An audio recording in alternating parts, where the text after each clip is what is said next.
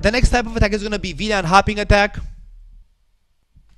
Where what this means is that I'm going to have an attacker, of course, and the attacker host is going to be attached to Ethernet to an Ethernet segment clearly, and it's going to send .1Q or ISL tagged frames into the switch network in order to hop over VLAN barriers. So the attacker is going to be able to send uh, .1Q tagged frames or ISL tagged frames and send traffic to different uh, portions of the network to call it that way. Without even without passing through a layer 3 device. And we have two variations of this of this VLAN hopping attack. One is when the attacker is going to run DTP with the connected switch to actually form a trunk link and be able to send tagged frames in the network. So what happens is the following. How this works is for example I have a switch in here.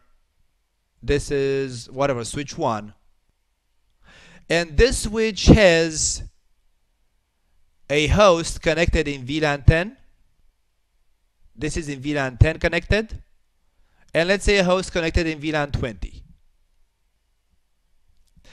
and then somebody plugs in the network in here, the attacker. And because the attacker is able to negotiate trunk formation with the switch, this is the attacker.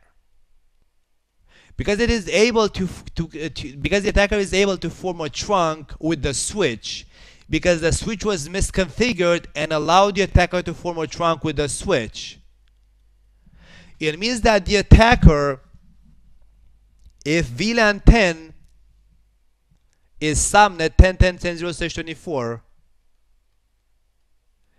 and VLAN 20 is subnet 20 20 20 0/24 for example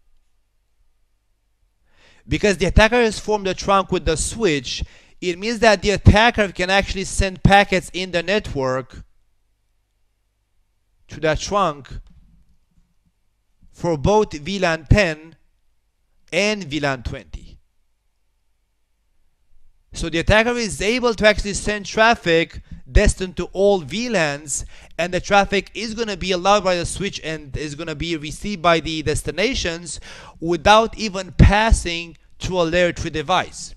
Because if the attacker is forms a trunk with the switch, it means it can send it can send frames with possibly any with any possible tag value, and those could could in the end be targeting a specific destination in different VLANs.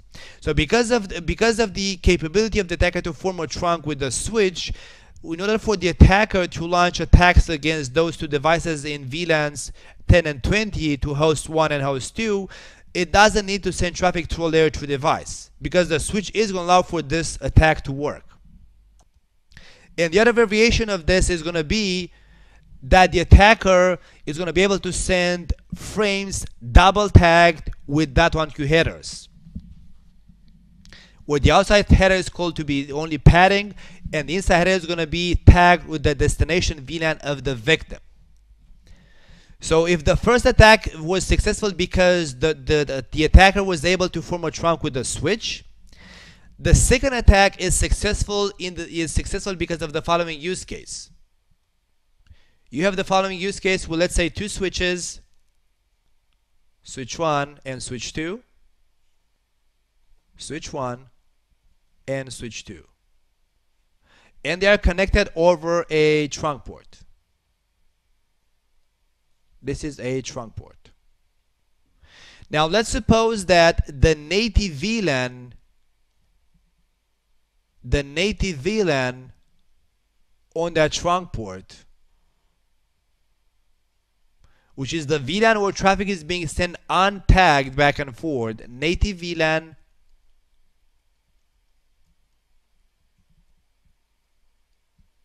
is going to be VLAN 100 let's say So the configured native VLAN on the trunk port is going to be VLAN 100 on both sides of the trunk.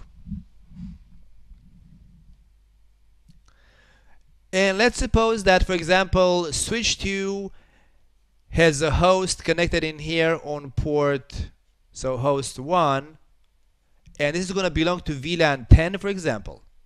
So this belongs to VLAN 10. And on the left side of the network, I have my attacker, which is connected to VLAN 100.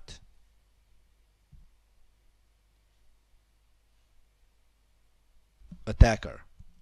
It is connected as, a, as, an, as an access port, but to VLAN 100.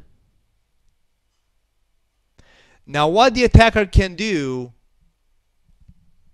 what this guy can do, it can send the following the following packet in the network. Like whatever the payload is I don't care the layer 3 header and the payload and whatever. So it's gonna be the layer 3 header for example layer 3 header and then the payload of the packet. But then add the layer 2 header it's gonna put in here two tags two VLAN tags it's gonna put a 100 as the outer VLAN tag and 10 we're going to put the 100 as the outer VLAN tag and 10 as the inner VLAN tag. And it's going to send this packet in the network over here. Now, the most of the switches, even if the switch one receives this packet on an access port, as long as the configured access port VLAN, which is 100, matches the received outer tag value of the packet, the switch is going to accept the packet. So technically speaking, in most cases, on access ports, the switch sends and receives untagged frames. But if the switch receives tagged frames, it's still going to accept the frame if the VLAN number of the packet equals the, the VLAN configured on the access port, which it does. So then the switch accepts the packet. But then the switch has to send the packet, has to switch the packet over towards the destination because this frame was destined to host 1 which is connected to switch 2. So then the switch 1 has to switch the packet further over the trunk to switch 2. But when it does this, it realizes that the native VLAN of the trunk is VLAN 100. There you go, which is the same VLAN as the received packet. So because of that, I cannot send a tagged packet over a trunk with a VLAN number matching the native VLAN.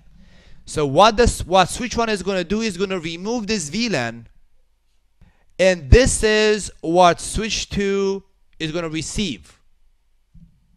And switch 2 is going to look at the remaining VLAN header because that's what switch 2 receives.